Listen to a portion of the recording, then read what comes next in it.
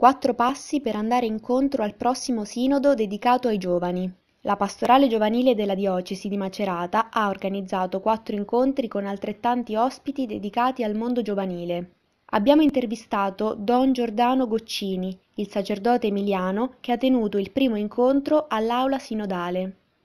I giovani abitano questo tempo in un modo tutto loro, tutto particolare, nel senso che eh, abitano questo tempo perché non ne conoscono altri, quindi si, si prendono la forma, ehm, si met, mettono su casa dentro a questo tempo di precarietà, sono diventati liquidi come è liquida la società e nello stesso tempo però si sentono un po' fuori casa in questo spazio perché eh, tutto ciò che noi gli abbiamo iniettato come sogni, desideri possibili sono diventati sempre più incerti, sempre più difficili.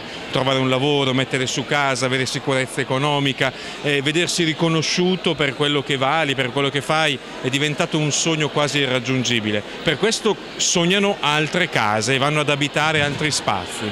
Qual è la prospettiva che si apre andando oltre il già visto? Quindi dando una nuova freschezza al Vangelo?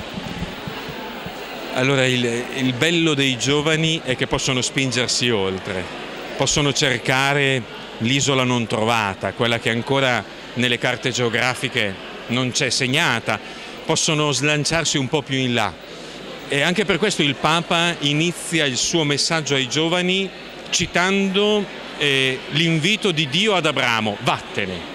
Ai giovani è possibile fare questa cosa un po' dura, un po' graffiante, un po' è un po' difficile ma profondamente generativa, vattene dalla tua terra, dalla casa di tuo padre verso il paese che io ti indicherò. Ecco, forse quello che manca di più a noi adulti è dire ai giovani vattene, e forse vorremmo, insistiamo troppo sul vieni, mentre invece dobbiamo chiedere ai giovani di essere degli esploratori, di essere capaci di immaginare un futuro nuovo, di eh, buttarsi in sentieri ancora inesplorati, di trovare quello che ancora le carte geografiche non hanno segnato.